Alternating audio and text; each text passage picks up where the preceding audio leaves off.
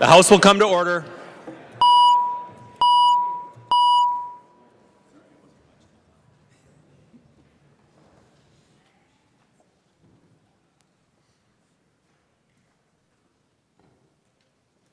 Prayer by the chaplain.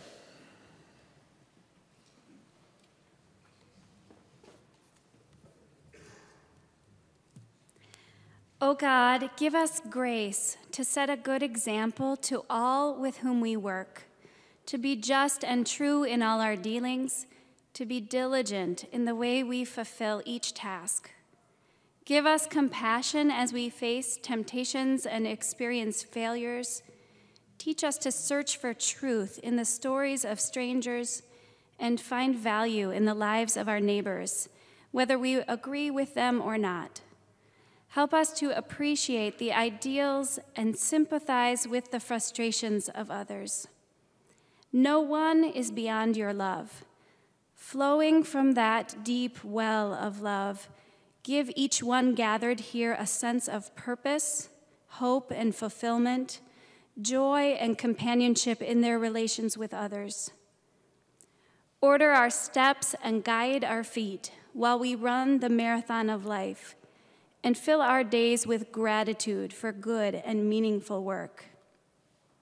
As we go through the trials of life, help us to realize that you are with us at all times and in all things. We have no secrets from you, and your loving grace enfolds us for eternity. Give courage, patience, and vision Strengthen all in their vocation of witness to the world and service to others. That which we know not, reveal. That which is wanting in us, fill up. Gift us to be gracious and generous toward all.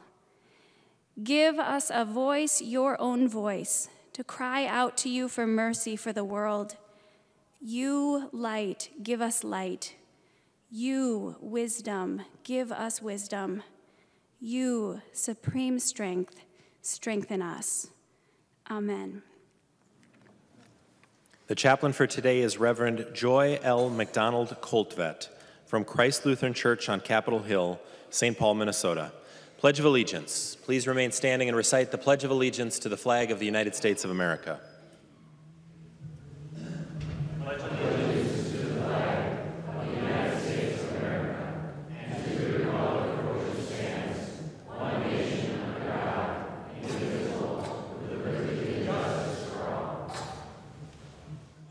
The clerk will take the roll.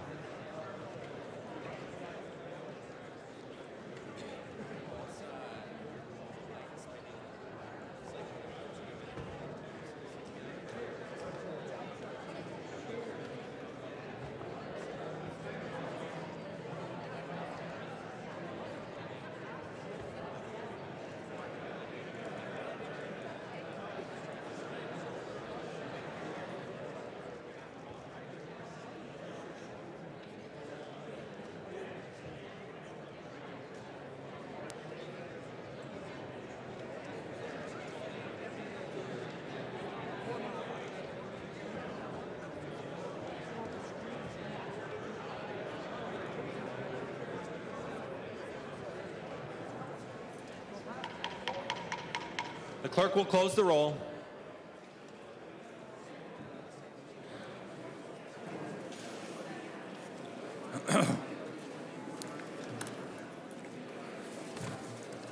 Quorum is present. The clerk will read the journal of the preceding day. Journal of the House, 90th Session 2017, 15th day, St. Paul, Minnesota, Monday, February 13th, 2017. If there is no objection, further reading of the journal will be dispensed with, and the journal will be approved as corrected by the chief clerk. Hearing no objection, the journal is approved as corrected by the chief clerk. Reports of standing committees and divisions. A copy of this order of business has been placed on each member's desk. If there is no objection, the reports will be adopted. Hearing no objection, the reports are adopted.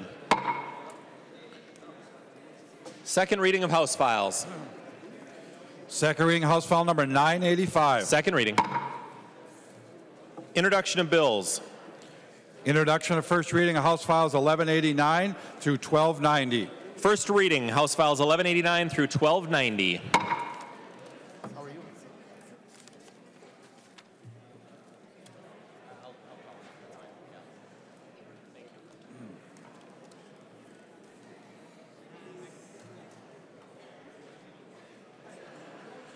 Motions and resolutions.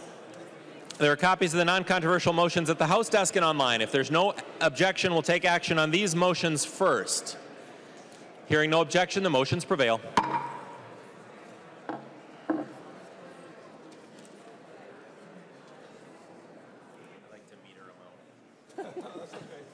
There's a motion at the desk. The clerk will report the motion.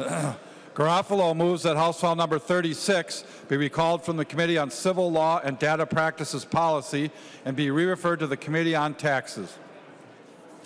Recognize the member from Dakota, Representative Garofalo, to introduce your motion. Thank you, Mr. Speaker and members. Members, this bill deals with a property tax classification issue. I have spoken with both chairs of the committees. This is referring it to its proper jurisdiction in the tax committee. Discussion on the Garofalo motion. The member from Ramsey, Representative Lesch. Thank you, Mr. Speaker. I uh, connected with Representative Garofalo about this, I don't know, a few weeks ago, but then we never connected back up. So I don't know what a storage condominium is, uh, but both chairs are good with it, but um, why, why did it go to civil law? If it has nothing to do with civil law stuff, why did it go there in the first place? You don't know? He will yield. Representative Garofalo. Uh, Mr. Speaker and members, sometimes when these uh, bills are coming in fast and furious, particularly at the beginning of session, I think there's references that maybe be misunderstood. But clearly, in this case, it is a property tax misclassification change that I'm making. Uh, in the event that upon review of staff or candidly anyone who thinks that this has some relevancy to civil law, I am happy to send this provision to civil law. But I think if you review the bill, Representative Lesch, you'll see it's a property tax classification. Representative Lesch. Thank you, Mr. Speaker. Uh, Representative Garofalo, I appreciate that, and uh, that's probably the case. I just had no idea what a storage condominium was, so thank you. Further discussion on the Garofalo motion. Seeing no further discussion, all those in favor of adoption of the Garofalo motion signify by saying aye. Those opposed, no. The motion prevails.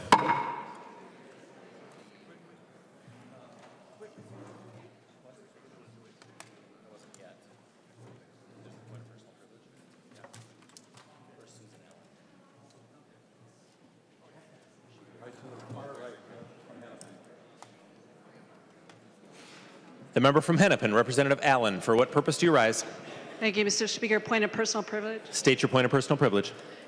In honor of Black History Month, I would like to highlight uh, an author, American author, James Baldwin. Uh, James Baldwin was born. Bold, Baldwin was born in 1924, and he died in 1987. And he wrote over 30 published works, including numerous um, spoken word and music recordings, which you can find on YouTube. Um, he wrote um, a collection of essays, and most uh, in his later years during the civil rights era talked about the intricacies of racial and class distinctions in American society.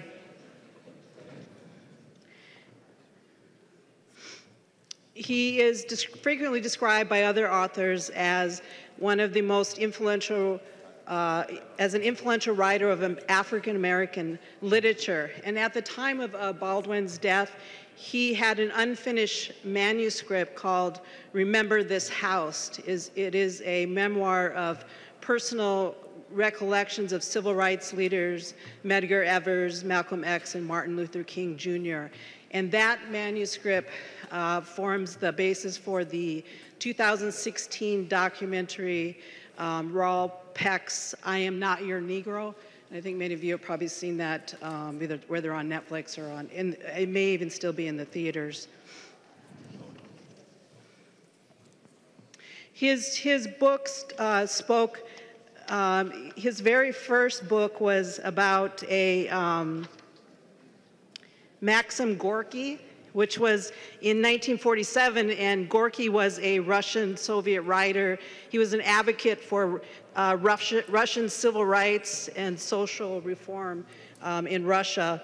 And then he wrote an autobiography, Talent on the Mountain, and he wrote a series of other books. He was also openly a gay uh, black man, and he wrote uh, Giovanni's Room, which predominantly has white characters, and another series of, of novels which dealt with uh, both black and white characters along with uh, heterosexual, gay, and bisexual characters. He, he left the country um, in, uh, when he was 24 to move to France. He, he was a fluent uh, French speaker. He came back in 1957 to participate in the uh, civil rights movement. And I think in, in, in, in, it was a common reading in high school and middle school, but, it, but at some point it did not become part of the Common Core standards. So I think there are a lot of us that are familiar with his writings and studying in school. And I, I frequently uh, uh, use, um, when talking about poverty, I sometimes say we can't afford to be poor anymore. And I always wondered where that came from. I know I didn't make that up. But, but he had a quote. Um, he was actually on the cover of Time magazine for a series of uh, essays that he wrote in the, um, in the uh, New York Times and Esquire. And one of his quotes was, Anyone who has ever struggled with poverty knows how extremely expensive it is to be poor. And if one is a member of a captive population, economically speaking, one's feet have simply been placed on the treadmill forever.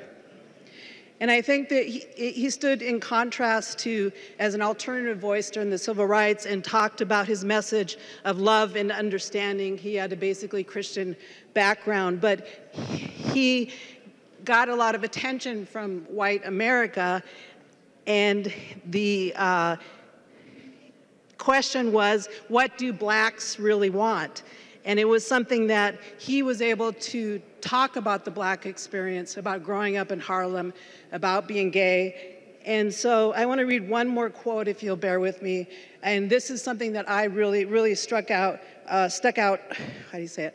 It really, I could relate to it in that it is not only speaking from the black experience, but also from children, American Indian children who were uh, removed from their homes uh, and, placed in boarding schools, which my grandmother was one of those children. he writes, or I think he said this in a, in a maybe a speech or, um, let's see, let me get the quote here. It was a New York Times interview. He said, The brutal truth is that the bulk of white, America, white people in America never had any interest in educating black people, except as if could serve white purposes. It is not the black child's language that is in question. He was talking about black English, if you remember that sort of uh, discussion decades ago. It is not the language that is despised, it is his experience. A child cannot be taught by anyone who despises him, and a child cannot afford to be fooled. A child cannot be taught by anyone whose demand, essentially, is that the child repudiate his experience and all that gives him sustenance, and enter a limbo in which he will no longer be black, in which he knows that he can never become white. Black people have lost too many black children that way. Thank you, Mr. Speaker.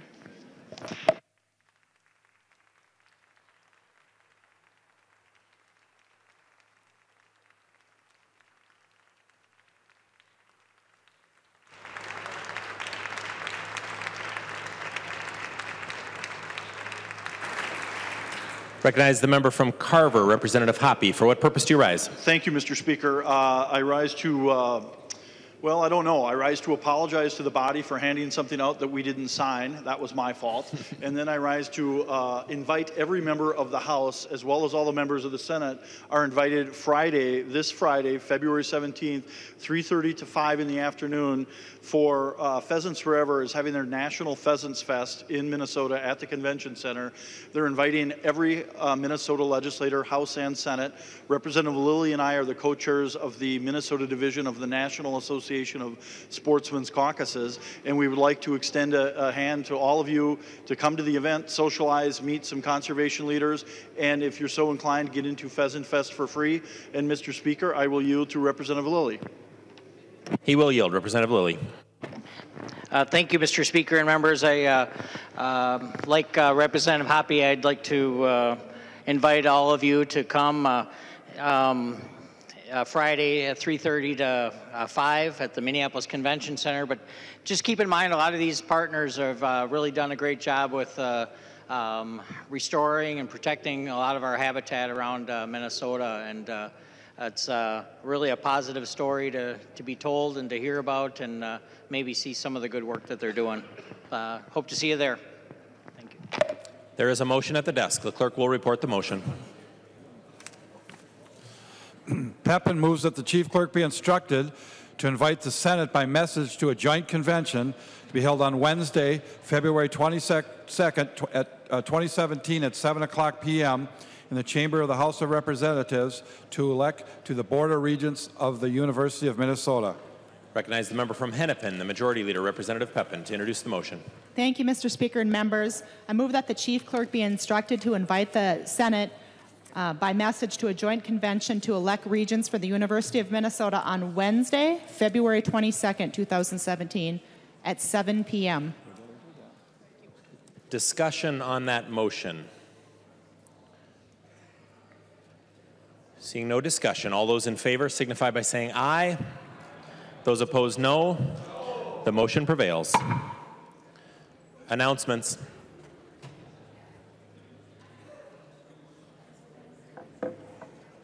Representative Hortman. Uh, Thank you, Mr. Speaker. This isn't an announcement. Privilege of the House. State your privilege of the House. Members, we have a problem in the House of Representatives. And I, I am just going to say, I, I think we have a little problem with being respectful and listening to certain people speaking. And uh, early in the session, Representative Halverson was speaking, and uh, the row behind her was so loud she could hardly see, hear herself talk. We have had members of my caucus who are younger and female speaking up in committee, saying really intelligent things, getting some things mansplained to them by the chairs of those committee or authors of the bill. And we just had a member of our caucus read something to recognize Black History Month. And we did not have a quiet and respectful body. Uh, in my role as minority leader, I've had uh, other gentlemen leaders explain to me things that I perfectly well understand, and I know they are not the first men who will explain things to me uh, that I perfectly already well understand, nor will they be the last. But I think that as a body, we need to create a more respectful environment for people who are speaking on the floor and people who are speaking in committee. Further announcements. The member from Sherburne, Representative Knoblach. Uh, Mr. Speaker, members, the Committee on Ways and Means will meet at 3 o'clock today in room 200 to take up three bills. Any further announcements? The member from Hennepin, Representative Peppin. Thank you, Mr. Speaker and members. I move that when the House adjourns today, it adjourns until 3:30 p.m. Thursday, February 16th, 2017. Representative Peppin moves that when the House adjourns today, it adjourns until 3:30 p.m. Thursday, February 16th, 2017. All those in favor say aye. Those opposed, no. The motion prevails. Representative Peppin. I move that the House do now adjourn. Representative Peppin moves that the House do now adjourn. All those in favor say aye. Those opposed, no. The motion prevails, and the House stands adjourned until 3:30 p.m. Thursday, February 16th, 2017.